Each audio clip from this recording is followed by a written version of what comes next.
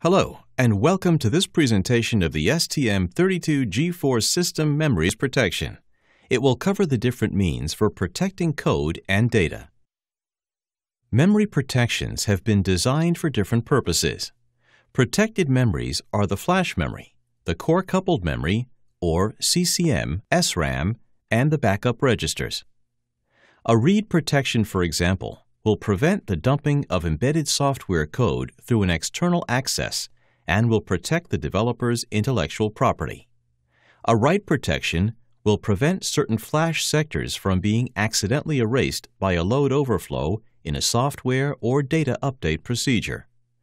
STM32G4 microcontrollers provide several features for protecting code and data located in flash memory and backup registers. In addition to these typical memory protections, the STM32G4 also introduces a new mechanism to ensure the safe execution of sensitive firmware. The following slides will describe all these protection features. The following means are provided for code protection purposes. RDP, Readout Protection. PCROP, Proprietary Code Readout Protection. WRP, Write Protection. Secure User Memory Protection is a new feature of STM32G4 microcontrollers. It ensures the safe execution of sensitive applications in addition to code and data protection. Readout Protection, or RDP, is a global mechanism that prevents external read access to flash memory, option bytes, CCM, SRAM, and backup registers. An external access can be gained by using a JTAG connector a serial wire port, or the boot software embedded in SRAM. Three levels of RDP protection are defined from Level 0, which offers no protection at all, to Level 2, which has full and permanent protection. Protection levels will be described in the following slides. PCROP is a memory access protection against code dumping. It is used to protect the intellectual property of the code. The protected firmware remains executable, but read and write access performed by the CPU executing malicious third-party code, such as Trojan horse, are prohibited. The write protection mechanism prevents accidental or malicious write and erase operations.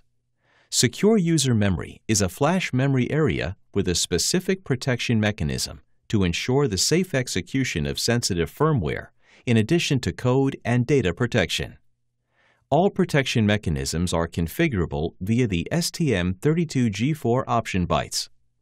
Note that once the secure boot has been executed, the secure user memory is no longer accessible until the next reset. This slide highlights the differences regarding the flash memory implementation between STM32G4 3X and 4X, called Category 2 microcontrollers, and STM32G4 7X and 8X, called Category 3 microcontrollers. Number of banks is 1 for Category 2, 1 or 2 for Category 3, depending on the DBank option bit. The page size which provides the minimum erase granularity is 2 kilobyte for Category 2, 4 kilobyte for Category 3 with single bank, and 2 kilobyte for Category 3 with dual bank.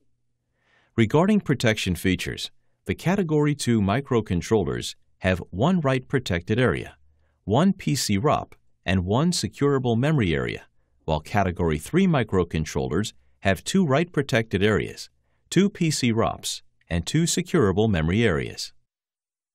When the lowest RDP level, level 0, is set, the device has no protection.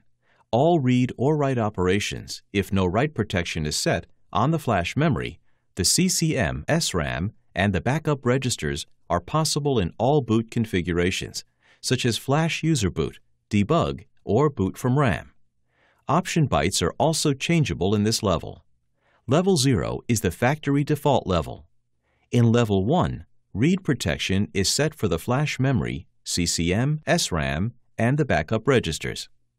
In this level, protected memories are only accessible when booting from user flash memory.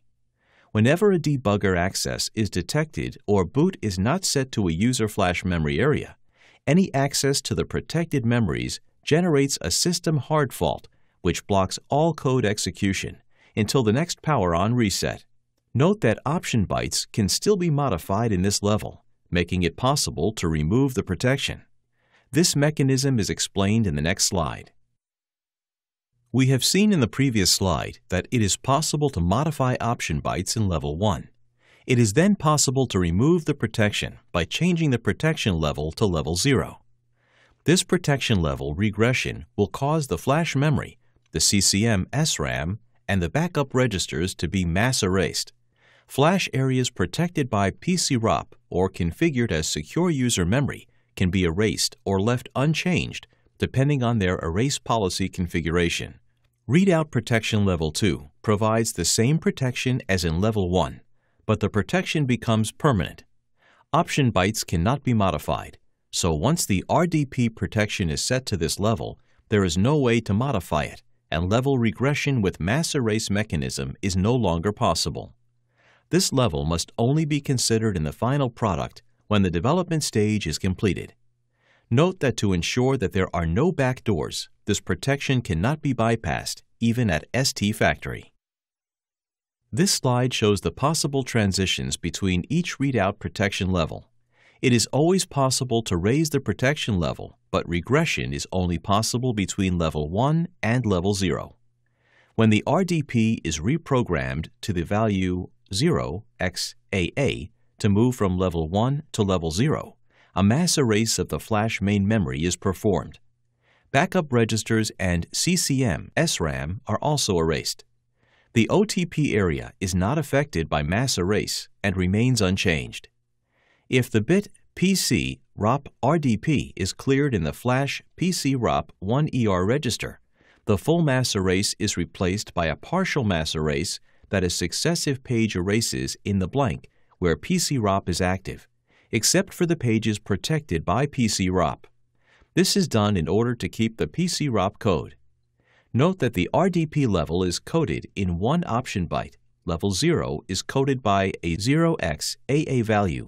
Level 2 is coded by a 0x CC value, and level 1 is coded by any value other than 0x AA or 0x CC. This table summarizes the different types of access authorized for the flash memory and backup registers according to the readout protection, or RDP level, configured boot mode, and with debug access, as seen in previous slides. PCROP means proprietary code readout protection. Third parties may develop and sell specific software IPs for STM32 microcontrollers and original equipment manufacturers may use them when developing their own application code. In order to protect the software intellectual property, or IP, the code must not be copied or read.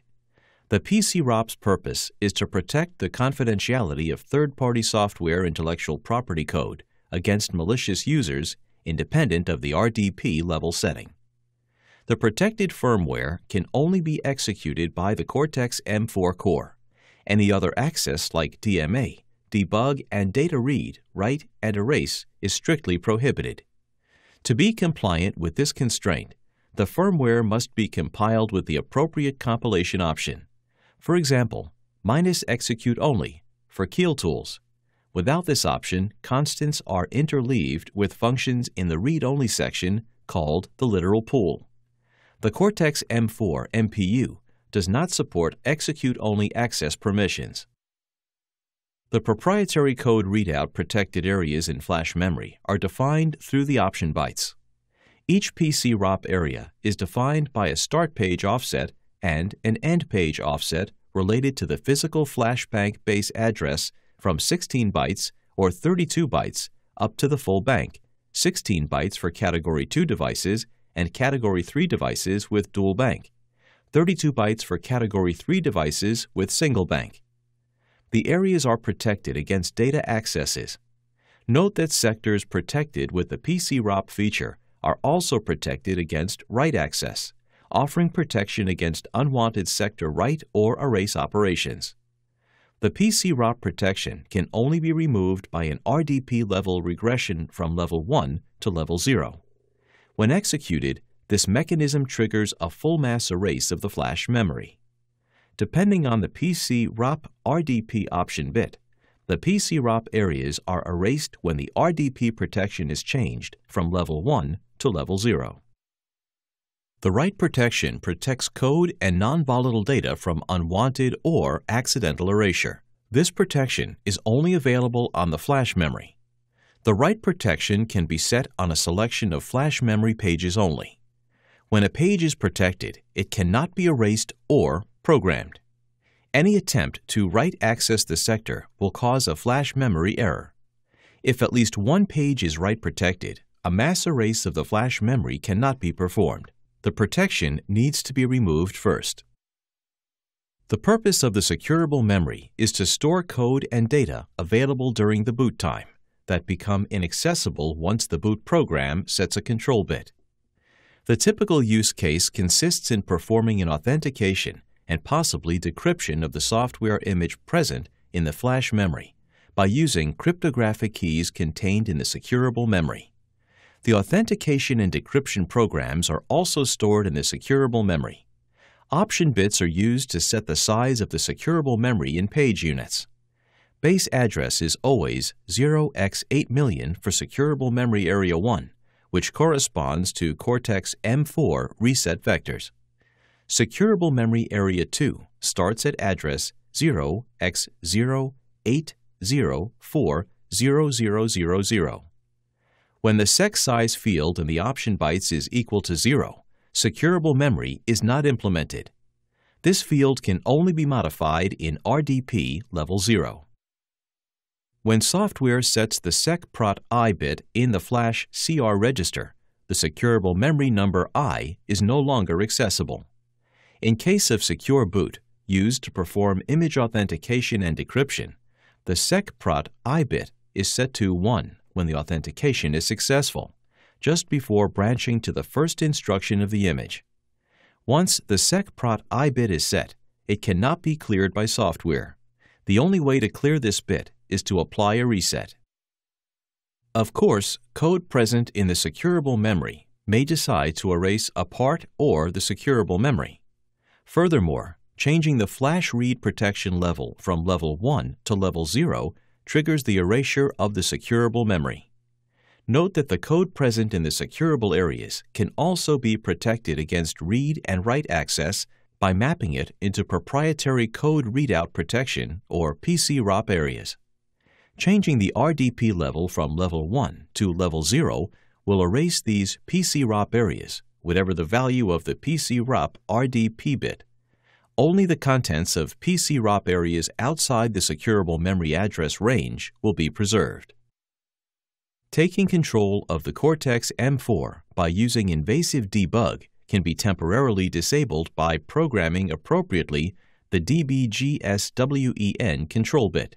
For instance, the secure boot can decide to clear this bit before performing authentication and decryption, and then to set this bit to 1 to re-enable invasive debug once the authentication is successful. In the STM32G4, three different boot modes can be selected, boot from embedded SRAM, boot from system memory, and boot from main flash memory. Executing a secure boot from securable memory implies that the boot area is the flash memory. To disable the other boot areas, the bootlock option bit has to be set in the flash sec R register. This option bit can be set unconditionally. However, resetting it is possible only when RDP level is 0 or RDP is changed from level 1 to level 0, which causes a full mass erase. Please refer to the flash memory training to learn more about the memory architecture, option bytes, and flash memory operations.